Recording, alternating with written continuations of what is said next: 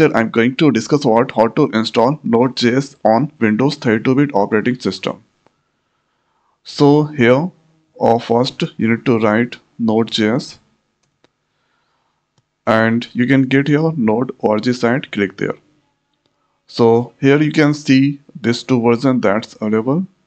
And uh, here you need to click this here. You need to click on this download so when you click on this download here you can see windows installer. This is for 64 bit and this is mac and other source.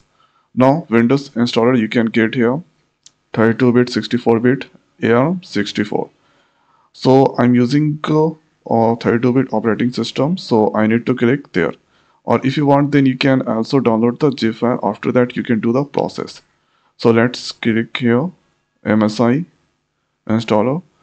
The file is now that's uh, done here downloaded. Only 23 MB is there. After that you need to click on this MSI file. And this is now here click on this next. And accept the terms and click on this next. So this location node.js is going to install click on this next. And here this all. Let's click on this next. And here next. And uh, this is now uh, so here you need to click on this yes. And now node.js installing. And this is in progress.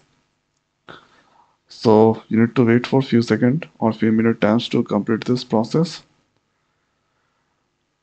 So here copying the new files. And now currently doing the updating component registration. Okay so this is the way we can here install node.js on windows 32-bit operating systems. So first here you no need to directly click on this given button. You need to search the 32-bit node.js software. So i think it's almost done. So that's done here. Click on this finish. After that let's open the command prompt so let's write here cmd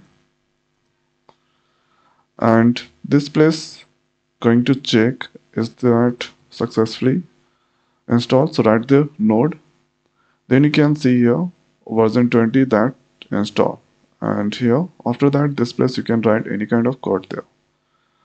Okay so this is the way we can install node.js on windows 32-bit operating system so i hope guys this video is helpful for you. So now in this video it's over. So thanks for watching. See you next week thank you